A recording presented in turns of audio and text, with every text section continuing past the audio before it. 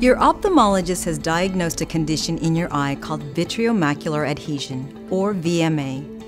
VMA is a condition affecting the macula, which is the part of your eye responsible for detailed central vision.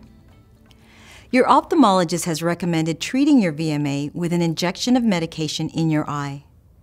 This medication can help to prevent further retinal damage and save your sight.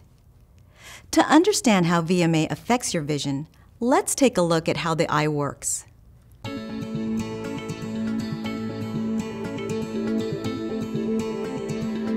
Light rays enter the eye through the cornea, pupil, and lens.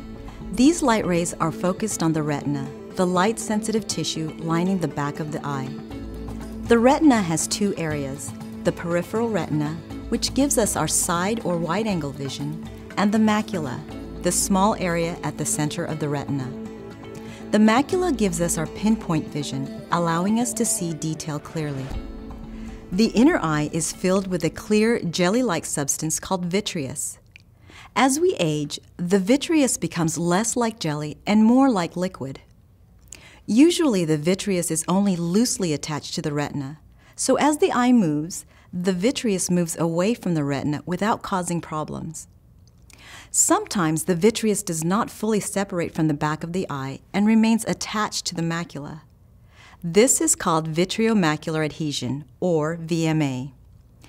If the VMA persists, the force of the vitreous pulling on the macula can cause distorted or blurred vision, or loss of central vision. If left untreated, VMA can lead to severe loss of your vision.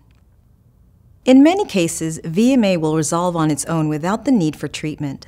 However, if it doesn't resolve and it is left untreated, VMA can lead to vision loss. Your ophthalmologist will treat your VMA by injecting a medication into your eye. This drug helps the vitreous separate from the retina. To prepare your eye for the injection, your ophthalmologist will clean your eye to prevent infection and numb it with anesthesia to reduce discomfort during the procedure. Your pupils may be dilated or widened with eye drops.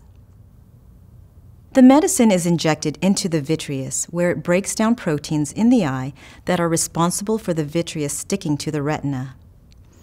Breaking down these proteins helps the vitreous and retina separate, reducing the chances that the vitreous will tug on the macula and cause vision loss. As with any procedure, there are risks of side effects and complications with medication injections for VMA.